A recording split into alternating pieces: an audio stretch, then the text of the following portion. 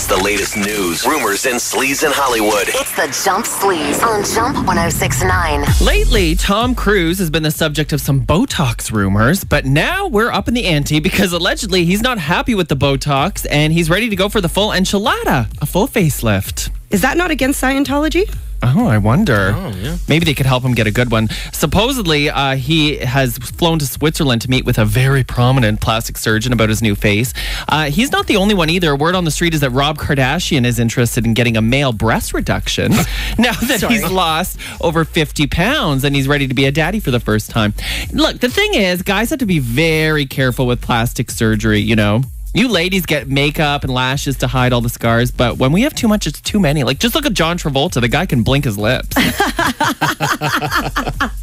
well, we've already heard that Helen Hunt and Jodie Foster get mistaken for each other, and some people confuse Sigourney Weaver and Susan Sarandon. Well, now we've got another set of Hollywood twins Jerry O'Connell and Jason Bateman. I do get Jason Bateman all the time. You do? Yeah, and I'm actually I'm very good friends with Jason, and we text each other. We have an ongoing joke. Like I'll text him, "Hey, listen, uh, the TSA lady uh, at JFK really liked Arrested Development because the TSA lady will be like, "Oh, I love Arrested Development," and I'll be like, "Oh, thanks." I never thought about that before, but I could kind of see a can see it, similarity. yeah. I don't. Not No. enough to be mistaken for one another. Is there anybody that you get confused with? I used to always confuse Demi Lovato and Selena Gomez. Uh, John Stamos and Rob Lowe. Really? Maybe because they're just handsome. The jawline. yeah. What about? Well, this is the obvious one: Zooey Deschanel and Katy Perry. Oh, Oh, yeah.